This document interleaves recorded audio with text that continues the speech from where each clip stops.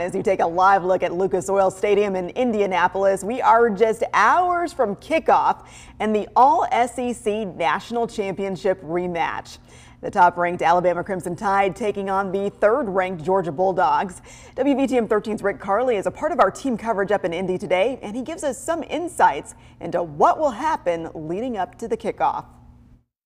It's a matter of hours now before the big game, about 7:15 Central Time. You're watching back in the great state of Alabama. We're here at the bottom of the hotel getting a cup of coffee before we head out into the cold and head over to uh, uh, Lucas Oil Stadium for the big game about uh, one o'clock. All right, who's going to take home this 2022 trophy? Look, here's what the Crimson Tide will do. The players will meet with their position coaches, have a hearty lunch. They'll uh, get mentally prepared. They'll arrive at the stadium just past five o'clock Central. Coach Saban will take that uh, pregame game lucky walk up to the 50 yard line of the field, back to the uh, end zone, hug his wife uh, Terry, uh, hug his mother, hug his uh, kids uh, Nicholas and Kristen, and then go back in to see his players taped, and then come back out on the field about 7:15. Us, our coverage starts at 4 o'clock Central Time today. Guy Rawlings, yours truly, Ryan Hennessy. We're taking you right on into the night and through tomorrow morning with really good interviews, highlights and the whole shooting match, as they say here from Indianapolis. So stay warm where you are.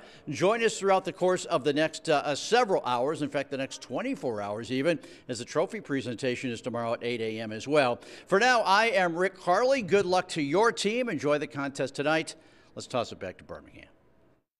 All right, thanks, Rick. And as Rick mentioned, we will have live team coverage throughout the newscast and all the day, all throughout the day leading up to the kickoff at 7 o'clock this evening.